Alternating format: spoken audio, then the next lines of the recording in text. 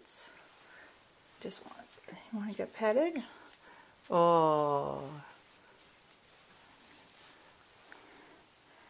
Yeah, she loves